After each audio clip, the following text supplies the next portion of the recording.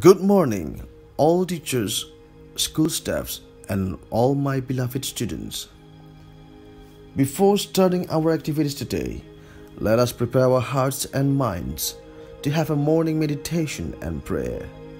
Please take a silent moment in a relaxing position.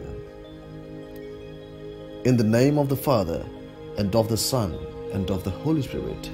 Amen.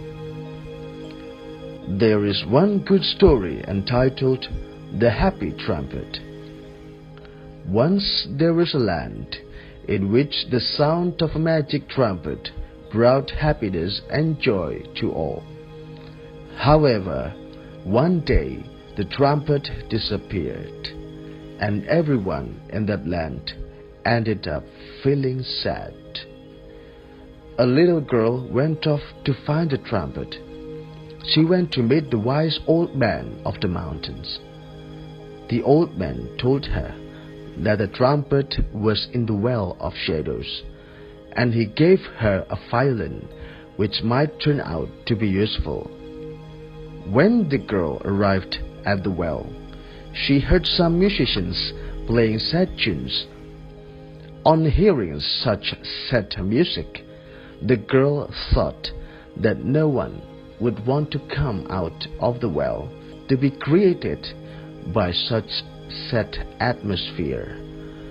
So she started to play the cheeriest, happiest music she could.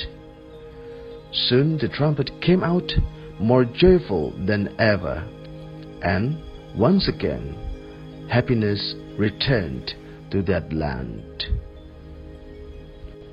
The message of the magical story is everyone can spread happiness every time and everywhere, even in the saddest situation, even for the saddest people. Therefore, there is one question for our reflection.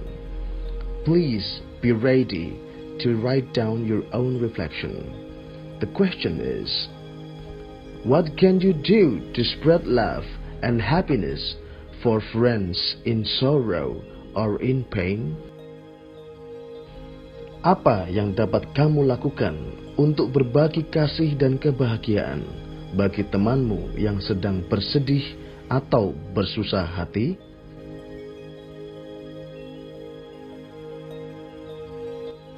The reading is taken from the Holy Gospel according to St. Matthew.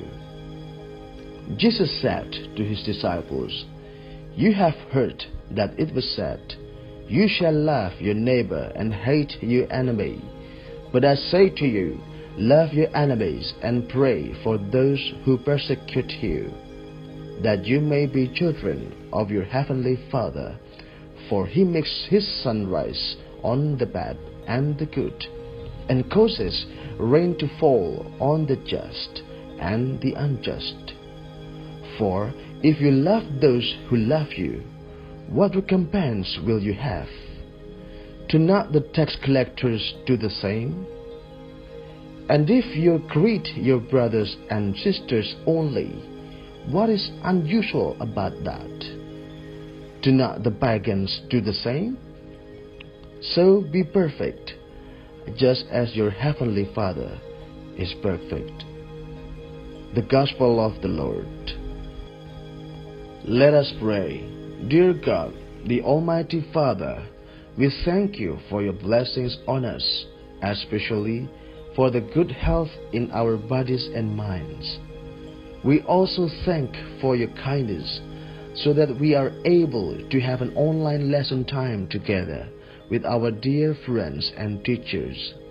Please bless us all in our studying activity and bless our teachers in their teachings so that we can understand our lessons very well today. Finally, bless us all so we can keep spreading love and happiness, especially for those who are in hard time, as good as what you always do for us every day. In the name of Jesus Christ, our true friend and our Lord, we pray. Amen. In the name of the Father, and of the Son, and of the Holy Spirit. Amen.